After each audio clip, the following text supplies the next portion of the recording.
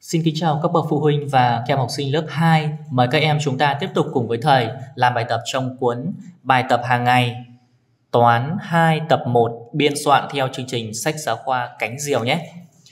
Chúng ta đến với bài 24, bài toán liên quan đến phép cộng, phép trừ tiếp theo.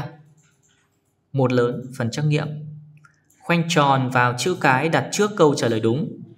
Câu 1. Tổ 1 có 8 bạn, tổ 2 có nhiều hơn tổ 1 3 bạn. Vậy tổ 2 có số bạn là để chúng ta hiểu rõ cách làm câu 1 thì bây giờ thì thầy sẽ đi uh, vẽ sơ đồ đoạn thẳng cho các em dễ nhìn nhé. Chúng mình có tổ 1 đã biết rồi này. Tổ 1 có 8 bạn thì thầy sẽ kẻ một đoạn thẳng tượng trưng cho 8 bạn này. Tiếp theo là tổ 2. Bây giờ thầy sẽ dùng thước thầy gióng thẳng điểm đầu xuống. Tổ 2 nhiều hơn tổ 1 tức là đoạn thẳng của tổ 2 phải dài hơn đúng không?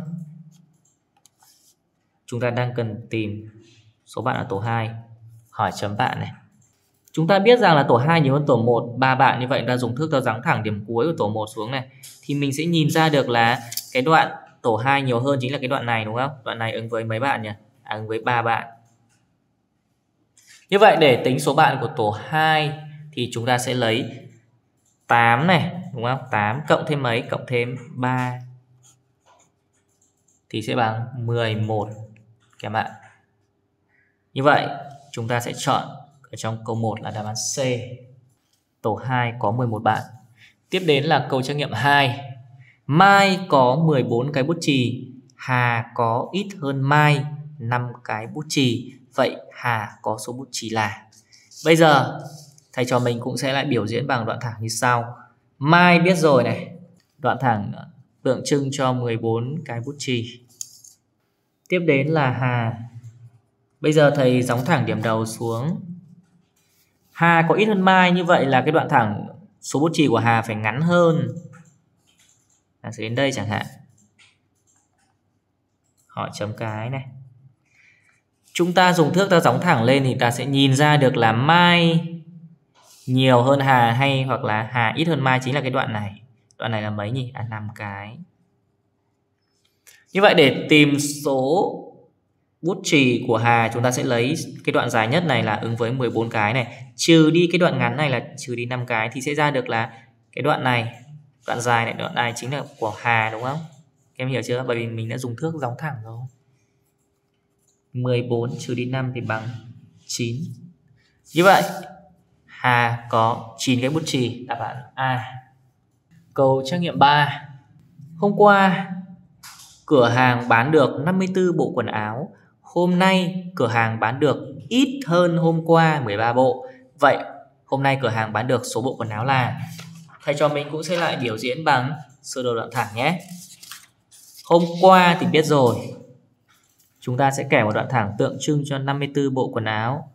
Hôm nay các em đọc kỹ đề nhé. Hôm nay cửa hàng bán được ít hơn hôm qua. Thầy dùng thước thầy gióng thẳng điểm đầu xuống này. Hôm nay ít hơn hôm qua, tức là sẽ là đoạn thẳng ngắn hơn. Đến đây chẳng hạn. Bao nhiêu bộ chúng ta chưa biết. Và ta dùng thước ta gióng thẳng lên Thì mình sẽ nhìn ra được là Hôm nay ít hơn hôm qua chính là cái đoạn ngắn này Ứng với 13 bộ. Vậy thì chúng ta sẽ nghĩ đến phép tính gì để ra được hôm nay nhỉ? Ta sẽ lấy cái đoạn dài nhất này, đúng không? Trừ đi cái đoạn ngắn này. Thì ra sẽ là đoạn còn lại, đúng không? 54 trừ đi 13 mình đặt tính ra nháp nhá, mình đặt sang bên cạnh này. Nhớ là đặt tính thẳng cột, sau đó mình sẽ trừ với số đơn vị trước 4 trừ đi 3 bằng 1 viết 1 5 trừ 1 bằng 4 viết 4 kết quả là 41 vậy, chúng mình sẽ chọn ở trong câu 3 là đáp án B. Hôm nay cửa hàng bán được 41 bộ quần áo. Tiếp theo với câu trắc nghiệm 4 lớp 2A trồng được 25 cây. Lớp 2B trồng được nhiều hơn lớp 2A 4 cây. Vậy lớp 2B trồng được số cây là? Thầy cho mình cũng sẽ lại biểu diễn đoạn thẳng nhé. Lớp 2A chúng ta biết rồi. Đoạn thẳng này tượng trưng cho 25 cây. Lớp 2B chưa biết. Chúng ta sẽ dùng thước gióng thẳng điểm đầu xuống. Lớp 2B trồng được nhiều hơn thì tức là đoạn thẳng dài hơn của lớp 2A. Chúng ta dùng thước ra gióng thẳng điểm cuối của lớp 2A xuống thì mình sẽ nhìn ra được là lớp 2B nhiều hơn cái đoạn ngắn này thì ứng với 4 cây.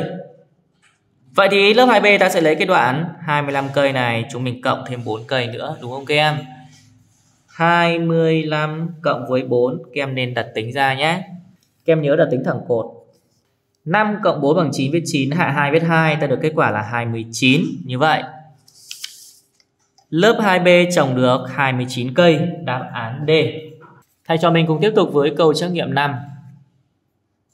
Thùng to đựng 60 quả táo, thùng nhỏ đựng ít hơn thùng to 30 quả táo. Vậy thùng nhỏ đựng số quả táo là Cẩn thận, chúng mình cũng sẽ biểu diễn bằng sơ đồ đoạn thẳng ra.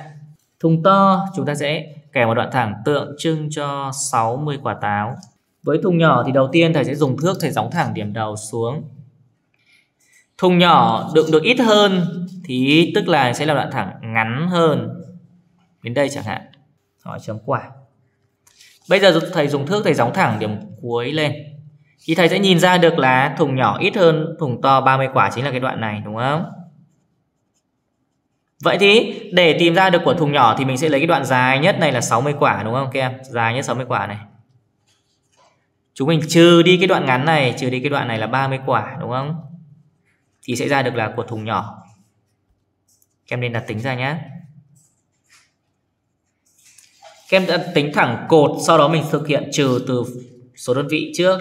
0 trừ 0 bằng 0 viết 0, 6 trừ 3 bằng 3 viết 3, kết quả bằng 30. Như vậy, Thùng nhỏ đựng 30 quả táo. Đáp án A. Vậy là thầy trò chúng mình đã làm xong phần trắc nghiệm Của bài tập hàng ngày 24 rồi. Thầy trò chúng ta cùng tiếp tục với hai lớn phần tự luận. Bài 1 Hiền hái được 25 quả cam, Minh hái được nhiều hơn Hiền 10 quả cam. Hỏi, Minh hái được bao nhiêu quả cam? Bây giờ chúng ta sẽ lại cùng vẽ sơ đồ đoạn thẳng ra với thầy nhé. Bạn Hiền đã biết rồi. Chúng ta sẽ kể một đoạn thẳng tượng trưng cho số quả cam mà bạn Hiền hái được. Cái đoạn thẳng này tương ứng với lại 25 quả cam. Các em thể ghi là 25 quả cũng được nhé. Tiếp theo là Minh này. Đầu tiên thầy sẽ dùng thước thầy giống thẳng điểm đầu xuống đã. Minh hái được nhiều hơn Hiền, tức là cái đoạn thẳng này nó sẽ phải dài hơn. À dù đến đây chẳng hạn. Thì đang cần tìm số quả cam của bạn Minh đúng không? Và bây giờ thầy sẽ dùng thước thầy giống thẳng điểm cuối của đoạn thẳng bạn Hiền xuống thì mình sẽ nhìn ra được là bạn Minh nhiều hơn bạn Hiền. 10 quả cam ở cái đoạn này. Các bạn hiểu chưa nhỉ? Đó, đây là 10 quả. Vậy thì để tìm được số quả cam của bạn Minh thì chúng mình sẽ lấy cái đoạn 25 quả cam này đúng không? Bởi vì nó đang là thẳng với nhau thì sẽ đoạn này cũng sẽ là 25 quả cam. Cộng thêm với cái đoạn 10 quả cam nữa đúng không? Vậy phép tính của chúng mình sẽ là 25 cộng 10 các em đặt tính ra nhé 25 cộng 10 nào là tính thẳng cột, sau đó mình cộng với số đơn vị trước. 5 cộng 0 bằng 5 viết 5 2 cộng 1 bằng 3 viết 3 ta được kết quả là 35 và đơn vị là quả, các em ạ. Thế bây giờ mình sẽ đi viết lời văn dựa theo câu hỏi. Đề bài hỏi chúng mình là, Minh hái được bao nhiêu quả cam? Bây giờ chúng ta sẽ trả lời là, Minh hái được số quả cam là? Thì ta sẽ lấy là 25 cộng 10 thì kết quả bằng 35 đơn vị là quả. Đáp số em ghi đầy đủ nhé, đó là 35 quả cam. Mình đã xong bài tập luận 1 rồi các bạn. Tiếp theo chúng ta cùng đến với bài tự luận 2 đề bài như sau. Vườn nhà Mai có 35 cây vải. Số cây nhãn nhiều hơn số cây vải là 12 cây. Hỏi, vườn nhà Mai có bao nhiêu cây nhãn Thì bây giờ chúng mình cũng sẽ cẩn thận đi biểu diễn sơ đồ đoạn thẳng ra nhé. Số cây vải thì mình đã biết rồi. Thì mình sẽ vẽ một đoạn thẳng tượng trưng cho 35 cây. Tiếp đến là cây nhãn này. Đầu tiên là thầy sẽ dùng thước. Thầy sẽ gióng thẳng điểm đầu xuống. Số cây nhãn nhiều hơn số cây vải, vậy đấy vẽ đoạn thẳng dài hơn. Đang cần tìm số cây nhãn là hỏi chấm cây. Bây giờ thầy sẽ dùng thước thầy gióng thẳng điểm cuối của số cây vải xuống thì mình sẽ nhìn ra được là số cây nhãn nhiều hơn là cái đoạn ngắn này, ứng với là 12 cây. Và để tìm số cây nhãn thì chúng ta sẽ thực hiện phép tính là 35 cộng với lại 12 mình đặt tính nhé. 5 cộng 2 bằng 7 viết 7 3 cộng 1 bằng 4 viết 4 ta được kết quả là 47 Thế bây giờ mình sẽ đi viết lời văn dựa theo câu hỏi. Đề bài hỏi chúng mình là, vườn nhà Mai có bao nhiêu cây nhãn? Thì mình sẽ trả lời là, vườn nhà Mai có số cây nhãn là 35 cây vải này. Chúng mình cộng thêm 12 cây nữa thì ta sẽ được kết quả đó là 47 đơn vị chúng mình ghi là cây nhé. Nhưng đáp số các em sẽ ghi đầy đủ cho thầy, đó là 47 cây nhãn. Mình đã xong bài số 2 tiếp theo là bài số 3 để bài như sau nhà mi nuôi 16 con bò. Số trâu nhà mi nuôi ít hơn số bò là 7 con. Hỏi nhà mi nuôi bao nhiêu con trâu? Thì bây giờ chúng mình cũng sẽ đi biểu diễn sơ đồ đoạn thẳng ra. À, số con bò biết rồi. Đấy sẽ ghi ngắn gọn là bò nhé. Mình sẽ vẽ đoạn thẳng tượng trưng cho 16 con bò. 16 này đơn vị là con bây giờ đến trâu đầu tiên thầy sẽ dùng thước thầy gióng thẳng điểm đầu xuống. Số trâu nuôi ít hơn thì sẽ là đoạn thẳng ngắn hơn. Hỏi chồng con này. Bây giờ thầy dùng thước thầy gióng thẳng điểm cuối của số trâu lên. Thì mình sẽ nhìn ra được là số trâu à nuôi ít hơn số bò. Cái đoạn này là chính là 7 con đây. Như vậy để tìm ra số con trâu thì mình sẽ lấy cái đoạn dài nhất này là 16 này. Trừ đi cái đoạn ngắn này là trừ đi 7 này, đúng không các em? Thì mình sẽ ra được là số con trâu 16 trừ 7 thì mình có thể trừ bằng cách đó là đếm bớt 7 bắt đầu từ 16 hoặc là chúng mình trừ bằng phương pháp tách số, đúng không? Hoặc là chúng ta ghi nhớ bảng trừ 16 trừ 7 thì sẽ bằng 9 và đơn vị chúng mình ghi là con. Bây giờ mình sẽ đi viết lời văn nhé. Chúng ta viết lời văn dựa theo câu hỏi. Mình sẽ viết lời văn đó là nhà mi nuôi số con trâu là Phép tính là 16 trừ đi 7 bằng 9 đơn vị là con. Đáp số thì mình sẽ ghi đầy đủ cho thầy, đó là 9 con trâu. Như vậy là thầy cho mình đã làm xong bài tự luận 3. Tiếp theo là bài tự luận 4. để bài như sau. Năm nay bố Bình 35 tuổi. Mẹ ít hơn bố 2 tuổi. Ý A. Hỏi năm nay mẹ Bình bao nhiêu tuổi? Với bây giờ thầy trò mình cũng sẽ đi biểu diễn sơ đồ đoạn thẳng nhé. Bố Bình thì chúng mình đã biết số tuổi rồi. Mình sẽ ghi là bố Bình này. Đoạn thẳng tượng trưng cho 35 tuổi. Tiếp đến là mẹ của Bình. Đầu tiên là thầy sẽ dùng thước, thầy gióng thẳng điểm đầu xuống.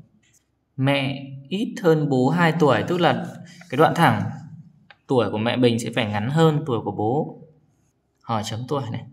Tiếp theo thì thầy sẽ dùng thước, thầy gióng thẳng điểm cuối của tuổi mẹ mình lên nào thì mình sẽ nhìn ra được là tuổi mẹ mình ít hơn bố 2 tuổi chính là cái đoạn ngắn này.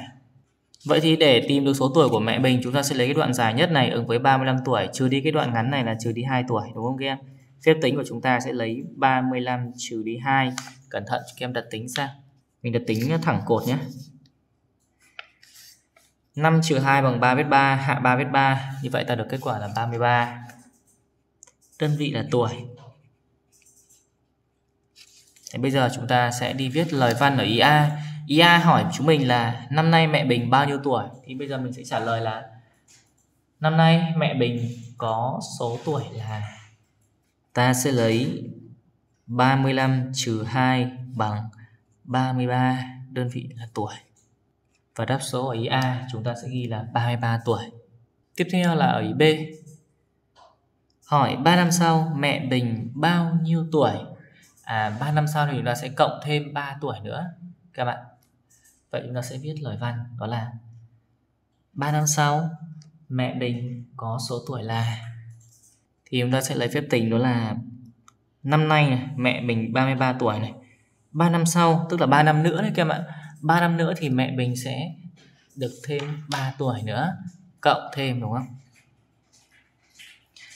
33 cộng 3 các em cẩn thận các em đặt tính ra ngoài nháp. Các em nhớ đặt tính thẳng cột. 3 cộng 3 bằng 6 viết 6 hạ 3 viết 3 như vậy ta được kết quả là 36 đơn vị là tuổi. Đáp số 36 tuổi. À như vậy là thầy trò mình làm xong bài tự luận 4 Kết thúc bài tập hàng ngày 24 rồi. Thầy chúc các em học thật tốt nhé. Thế còn bây giờ, thầy thân ái và chào tạm biệt các em.